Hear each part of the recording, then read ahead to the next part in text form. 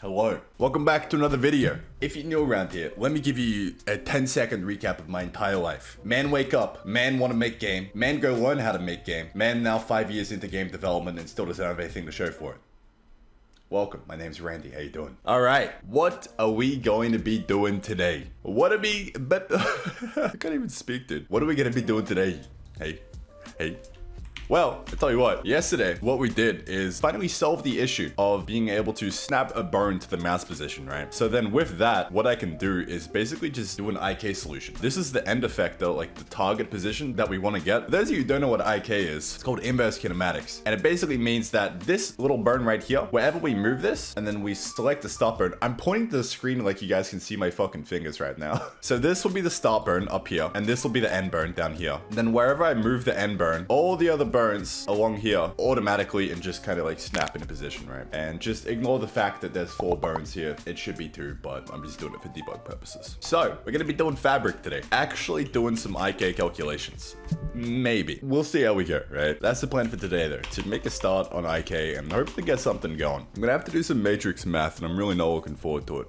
God damn it. Well, there's really only one way to start this and it's just by goddamn starting. Before we start though, I woke up at about 10 a.m. this morning. I went to bed at 10 p.m. Therefore, I slept 12 hours. That's not very healthy, nor ideal. But for some reason, whenever my alarm goes up in the morning, I just fucking turn it off and I flop back into bed and then I just keep sleeping. I don't know how to motivate myself to get out of bed. Ever since I've quit caffeine, it's no longer, oh, I'm getting out of bed because now I can go put on my cup of coffee. It's like, wow, I'm getting out of bed to start a really hard problem today. Boy, I can't wait to do some matrix math. I need something. I don't know what that is. You guys have any suggestions? Feel free to leave them in the comments. I got a physical alarm clock that worked for a little bit. I put it on the other side of my room. It forced me to get up out of bed and turn it off, but now I just get up out of bed, turn it off, and fall back into bed. Maybe I should start eating breakfast and then look forward to the breakfast, like a really yummy breakfast. That could work. That's worked in the past, you know. Originally, what I'd do is I'd wake up, I'd go on my phone straight away, then that would keep me awake long enough to eventually roll out of bed about an hour later. But now I just don't have my phone in my room, so I just wake up and I'm like, all right, time to get up, and then I just fall back asleep. You see, alright, here's my current issue. All of these joints aren't actually matrices. They're stored as translations and rotations. And in something that is called, basically, it's just a transform, right? And it stores Vec3 translation, Vec4 rotation. So we've got a translation and rotation, but they're each separate, right? They're not actually stored as a matrix. So now, say we had a bunch of bones. So we had all these bones. Each of them have their own translation and rotation. Can we add these translations together and the rotations together somehow? And still get the correct chain all the way down? But do we have to put them into matrices and then multiply those matrices? I don't know. I think sure you could just add the translations together and then do something with the rotations as well. How do you blend two quaternions together? I don't know. Let's find out, I guess. Okay, so scrap that idea. I really don't think you can take a bunch of positions and rotations and individually add them together to get an entire chain. It just wouldn't make sense. You don't do all your translations, do all your rotations, and then you're just magically there. I don't think that's how it works. So I think we have to do it with matrices in order to actually get the right position. But then I'm thinking we just take that, since we're now in model space, we take that matrix and we just convert it back into just a translation. It'd be so much easier if all these were stored as matrices and I was just forced to do it that way, but they're not. They're stored as transforms. Alrighty, so I'm gonna take this, put this just up here. So that gives us the screen vec. That's basically the end effector position. Yep, so we could put it into a matrix. That essentially will be the end effector. Cool. So I'm making it equal to zero there, which makes sense. Okay, yeah, that makes perfect sense. All right, making progress. I like it. Things are a lot more tidy now, and I like it. Boys, we didn't have much time. I'm stuck inside a video saying the same thing over and over again. Hi, my name's Thomas Randall, and I'm here to tell you about the benefits of becoming a member on my website. Aside from supporting yours truly and helping to hire new team members to pump out the game more quicker and effectively, you'll also get access to all the source code for my game. Don't go stealing it now. I mean, what are you gonna do? Make it for me?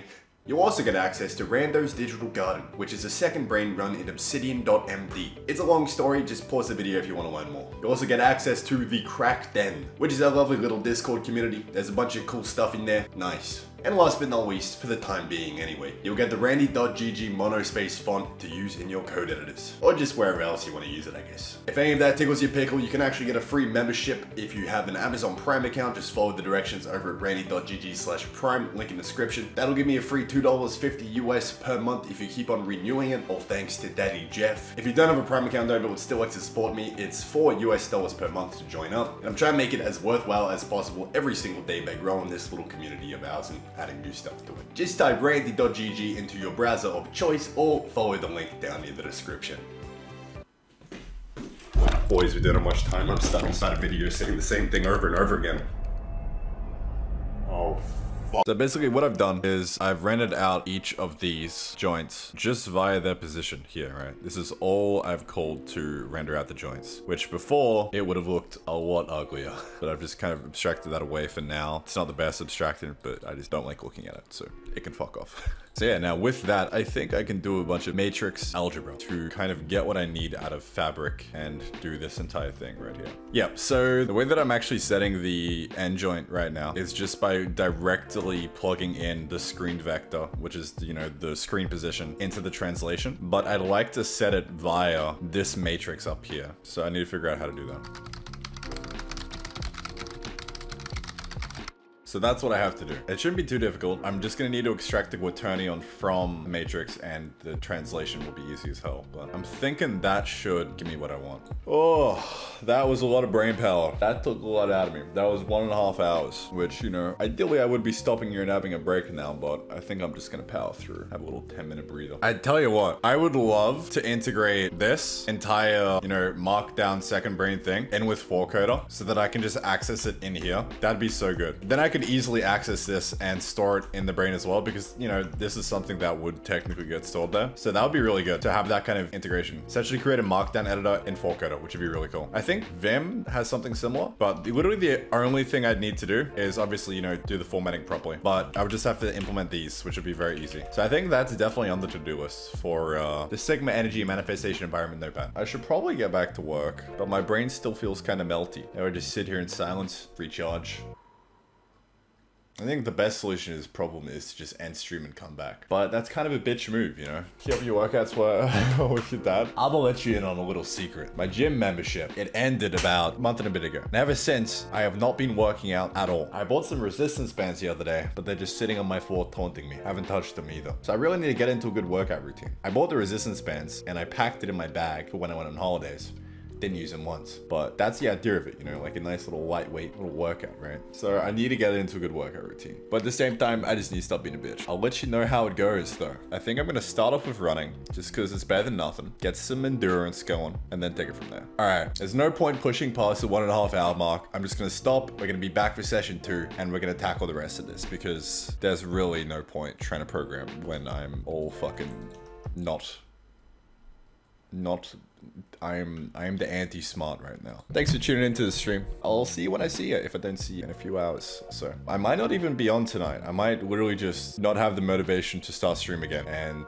end up not doing another session, which you know is probably what's gonna end up happening here. I guess we'll see. See you guys later. Peace.